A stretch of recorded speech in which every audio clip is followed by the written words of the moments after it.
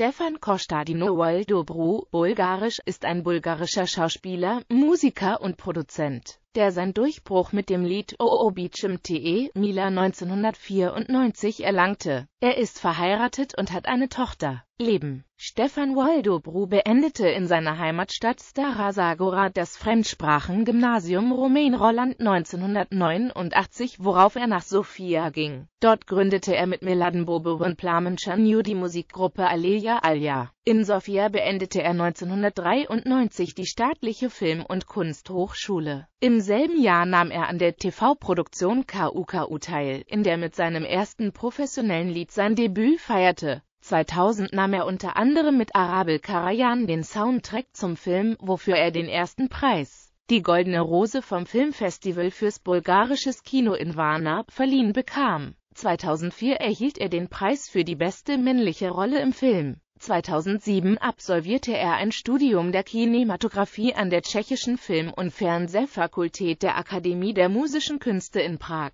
Diskografie. Ost. Opus Theatrale, Opus Theatrale 2, Filmografie, OOD Live.